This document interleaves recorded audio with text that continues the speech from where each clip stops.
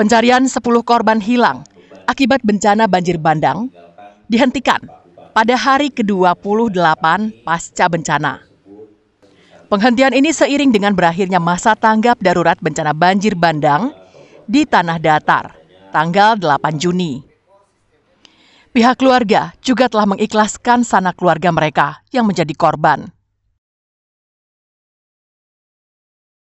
Bahwa tanggap darurat selesai pada tanggal 8 Juni ini, tanggal 9 kita masuk dalam transisi darurat dalam uh, rangka pemulihan uh, di tanah datar. Eh, di masa transisi ini uh, kami yang pertama akan perbaikan perbaikan jembatan dan jalan irigasi.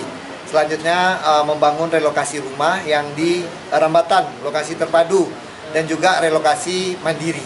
Itu yang akan kami lakukan. Uh, pengungsi itu kita bebaskan, boleh pulang ke rumah atau rumah keluarga, boleh tinggal. Meski masa tanggap darurat dinyatakan berakhir, namun bantuan untuk korban banjir bandang di tanah datar masih terus berdatangan.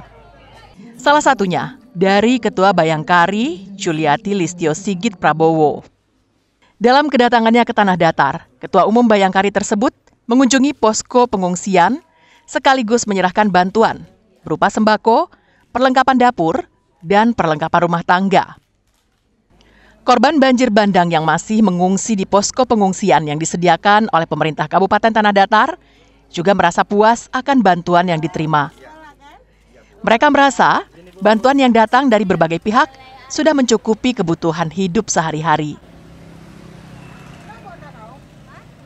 Selama ini cukup, ya Bu ya? Cukup. Nggak ada kurang makanan. Nggak ada kurang beras. Beras. Cukup, cukup semuanya cukup ya Bu ya? Semuanya. Alhamdulillah cukup. Cukup ya Bu ya? Nah, nggak ada kurang. Nggak ada kurang ya Bu ya? Cukup semuanya ya? Insya Allah. Beras. Beras cukup. Semuanya cukup. Sampai air minum cukup. Air minum juga cukup ya Bu ya? Antarin. Jadi selama ini aman ya Bu ya? Aman, Allah. Ibu uh, ada sempat tinggal di pengungsian? Eh, sampai sekarang. Oh sampai sekarang masih Nah, tinggal di pengungsian dengan keluarga ya Bu ya? Sebelumnya, bencana banjir bandang di tanah datar yang terjadi pada 11 Mei lalu menyebabkan 32 orang meninggal dunia.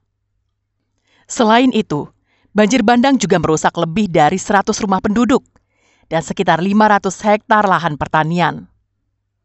Selanjutnya, pemerintah daerah akan memasuki masa rehabilitasi dan rekonstruksi, serta relokasi hingga perbaikan infrastruktur yang rusak juga akan mulai dilakukan pada tahap ini. Sri Luis melaporkan dari Tanah Datar.